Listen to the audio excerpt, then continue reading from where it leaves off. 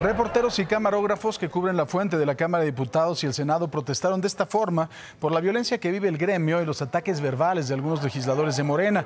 En la Cámara Alta, al menos 50 periodistas abandonaron la conferencia de medios que sería encabezada por la bancada morenista, mientras que en la baja, los, diputados, los comunicadores se pusieron de espalda a la tribuna en el momento en que el diputado de Morena, Hamlet García, hacía uso de la palabra. El legislador, como siempre, minimizó la protesta y fiel al estilo de la Cuarta Transformación, habló del pasado.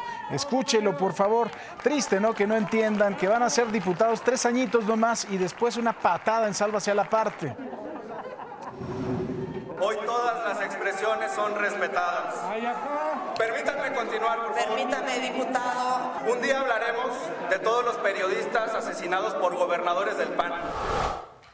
Bueno, imaginen nada más el argumento de este señor, pero bueno, ni hablar, así es el nivel intelectual. Por su parte, también el coordinador de los diputados de Morena, Ignacio Mier, rechazó que existan ataques a la prensa por parte del presidente López Obrador o de los legisladores morenistas.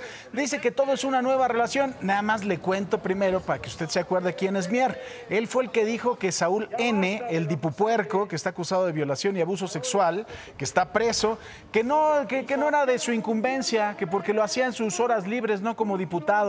Fíjese nada más, así, así de ese tamaño, el señor que dice que hay una nueva relación con la prensa, escúchelo. Yo creo que es una nueva relación. Forma parte del proceso de de todas las democracias. Es el derecho de réplica. Hay plena libertad de los medios de comunicación para cuestionar al presidente. Hay apertura. Yo